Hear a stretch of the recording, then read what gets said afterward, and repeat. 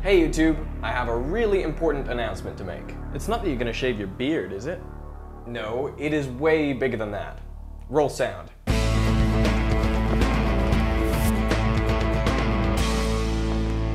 I'm here at the Olympic Cauldron in Vancouver. As you know, I've been traveling for a long time.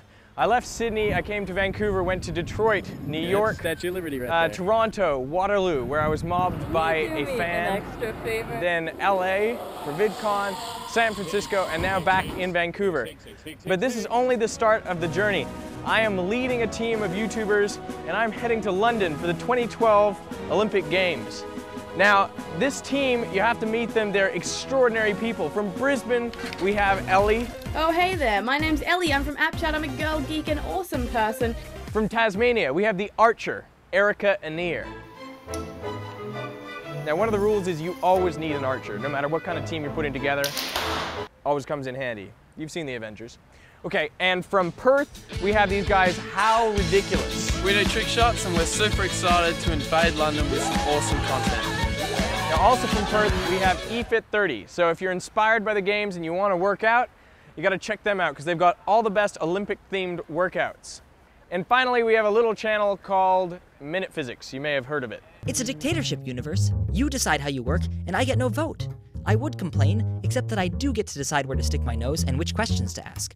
So that is Team Record Gold. Now, over the next few weeks, we're all going to be doing content themed around the Olympics. So subscribe to all the channels so you can find out what they're doing. I'm going to be doing the science of sport and the science in and around London. So stay tuned for that, and I will see you in London.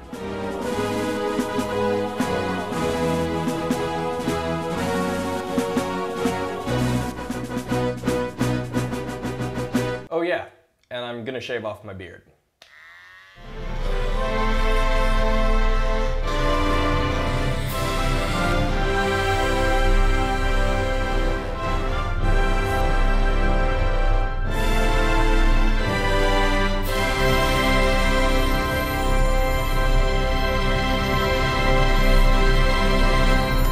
So there you have it. Are you regretting this now? Yeah, just a little bit. Yeah. That's what I thought. It'll grow back. Oh, and uh, one more thing. It's become clear to me that uh, it's quite difficult to make videos about science while traveling, while I'm on the road. Uh, so I apologize to those of you who have been looking for really hardcore science content, but I'm going to kick it up a notch. And to separate out the non-science things, I'm starting a second channel called 2 Veritasium. Uh, so that's like an isotope where I can just communicate with you, respond to comments, and, and do things that are just more off the cuff uh, and let you know what's going on. So uh, if you want to watch me, say, climb a headless ice bear, then, um, then click the link. That's weird. Like